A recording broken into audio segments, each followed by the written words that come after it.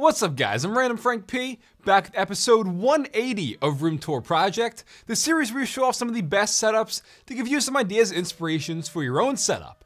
And this week is a budget edition, and we're gonna have the special Razer Rescue giveaway going on. Last month, I asked you guys to submit your setup of need in order to pretty much win tons of new peripherals and Razer gear, so Hope you guys are pumped for this. See anything you like, I'll have it all listed for you in the description down below so you can check it out. But let's start off the budget edition. First, we have Ayato with his laptop setup here, making the most out of the single setup display with some Pokemon figures and stuff on the right. Powering everything is his Acer TravelMate P248M Inside's an Intel i3 6100 CPU with 4 gigs of RAM and a terabyte of hard drive space.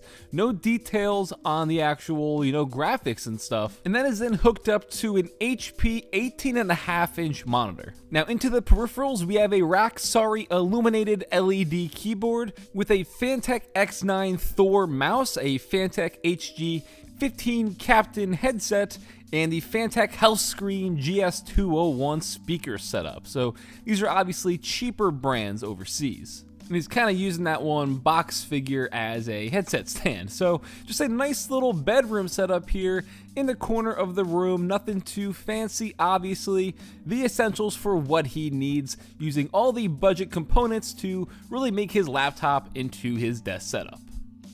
Now we've got Shawn J with a unique kind of desk shelf hybrid for the bedroom desk setup, going with the single monitor display and some simple RGB lighting around it to bring out the reds in his primarily red colored setup. So for his monitor, it is an eMachine 19 inch. That bad boy is definitely looking dated. And for his peripherals, he has a combo from CyberPower for the mouse and keyboard, and the Kotion headset. I don't even EOCH. So definite budget options, and the CyberPower mouse and keyboard are pretty much bundled with the CyberPower pre-built gaming PC that he picked up. So again, saving money even there.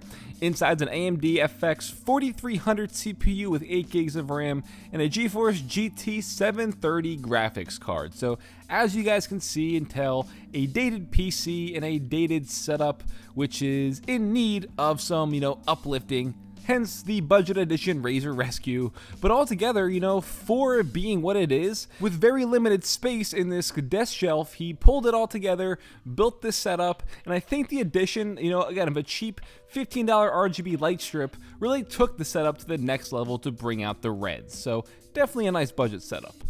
Now for me, Antonio, this is kind of going to be on more of the higher end of the budget criteria. It's always hard doing these episodes because everyone's definition of budget is different. Some people can build a setup for under a thousand, under 500. Some people can't even afford, you know, a gaming mouse. Then they'll yell at me saying, no, none of this is budget. Yes, that's how they sound in my head. Anyways, this one's kind of right at that brink there, and it's a very limited desk space. It looks like it's two kind of separate pieces, like an end table and a, I don't know. It's very limited is what it is. And for his monitor, he picked up a refurbished Insignia 24-inch display, so again, saving money buying it refurbished and it's got the headphones on there, kind of acting as like a hanger, and that is the Corsair HS60 headset. Into the rest of his peripherals, we have the TechBean Rainbow LED keyboard, so that's a static color, they don't change, with the PICTEK wired gaming mouse. And I can't imagine this is very comfortable at all. It's got to be really cramped with your wrists like butting right up against the edges of the inside of the desk. And I don't know how you do with your DPI, with the, just smashing your wrist. Um, I don't know, man. That'll definitely be a point to upgrade for you down the line. Now over to the PC, this is the Phanteks P400 case. Inside an Intel i7 6700K CPU with the Cooler Master Hyper 212X cooler, 16 gigs of RAM, and a GTX 1060 graphics card. So again, this is definitely kind of pushing the limit what I would consider a budget. Um, I would I wouldn't consider anything over a 1060 a budget GPU since this, this one for the price to performance is right at that sweet spot. Uh, yes, an i7's kind of overkill for budget, but everything considered, I would still call this a budget setup. Done nicely, I'll definitely say that. It's a nice little space, but you gotta upgrade that desk, my man. Now, Dr. Kev, this one's more on the clean, you know, that minimal side, a very organized space, which I can definitely appreciate that. Also going with the single monitor, this is a 24 inch display from Samsung. Got it mounted on a little bracket off to the side with a nice light strip behind the desk, color blue, making the clouds wallpaper kind of pop just a little bit more. Gotta say I'm a fan of that light matte gray wall and the tessellated figures of like the map um, mounted above the setup, which you can see kind of there in the first photo. Nice little touch. Now over to the peripherals, we have an Aukey mechanical keyboard, a TKL. These are always budget friendly with the Corsair Harpoon mouse on a Roccat Taito Control mouse pad.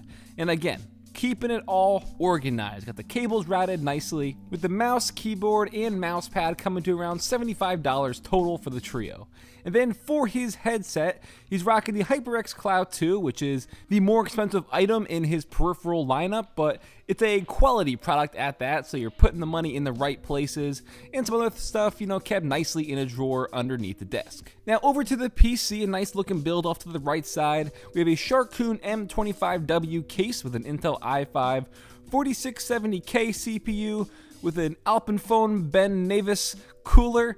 We got 8 gigs of HyperX Fury RAM, and the graphics card, the Sapphire R9 280X 3 gig version. These are often found on Amazon or eBay for around 100 bucks used, so not bad pricing at all. So Dr. Kev really digging this really minimal, clean, and organized setup from head to toe. You gotta appreciate the dedication that went into putting a lot of thought into this. It may not have seven 4K TVs mounted on the wall, and it doesn't need that, but it still has an identity which I can appreciate. Then last but not least is Carl! Carl D with the laptop and console setup in the bedroom with again some RGB lights to make those blues come out to match the wallpaper here. And nothing says saving some money than what looks like using those tin planters as a desk riser. I could be wrong, might not be that, but if it is, that's some creativity. So this is a 32 inch Samsung LED TV. Got his laptop hooked up to this. You can see the Xbox One in front of it as well for some console gaming. Now, as for that laptop, it is a Toshiba Satellite S55A with an Intel i7 4700 CPU, 8 gigs of RAM, and an NVIDIA GT 740M graphics card. Uses this for some light gaming, music production, and stuff. Then down to his peripherals with a wireless Logitech K400 keyboard with Logitech M510 wireless mouse with the Turtle Beach Ear Force Recon headset again for both console and the laptop. So the dual multi-purpose setup here in the bedroom, a smaller desk space definitely, some budget peripherals and budget gear, but for the desk space as it is, he makes it work. Can extend the laptop screen to the TV, unplug it, get some Xbox gaming going on, stream right from here. A practical budget setup from Carl. Carl!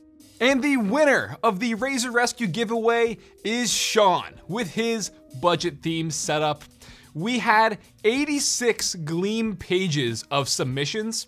And believe it or not, about 95% of them were rejected because people didn't follow instructions. So we still had close to 300 individual setups we had to go through and pick. We picked five finalists and then the winner was chosen at random. So again, congrats to Shawn.